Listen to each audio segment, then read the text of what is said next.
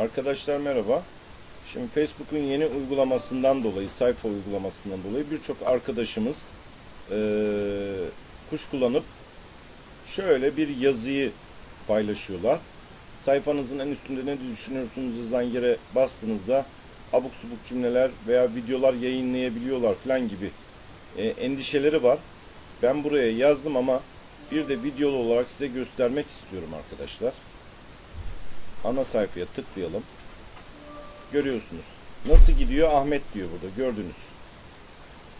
Burada ben kişilerle bir şey paylaşmak istiyorsam buraya merhaba diye yazıp paylaş diyorum. Veya sayfayı tazeleyelim arkadaşlar. Bu sayfadan ayrı. Evet. Sayfadan ayrıldık. Fotoğraf veya video eklemek istiyorsam buraya tıklıyorum. Fotoğraf veya fotoğraf albümü oluştur diyorum. Bu normal. Bunu birçoğunuz biliyor zaten. Sadece buraya hatırımızı soran eee, cümle gelmiş. Gördüğünüz gibi buraya kilit geldi arkadaşlar.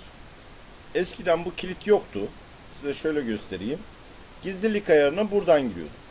Şimdi birçok e, kullanıcı arkadaşımız, özellikle bayan arkadaşlarımız veya Facebook'u yeni sayfası yeni Facebook sayfası oluşturmuş arkadaşlarımız için daha kolay olsun diye bakın gizlilik ayarlarını buraya kısa yol olarak bakın gördüğünüz gizlilik kısa yolları paylaştıklarımı kimler görebilir diye tıklıyorsunuz.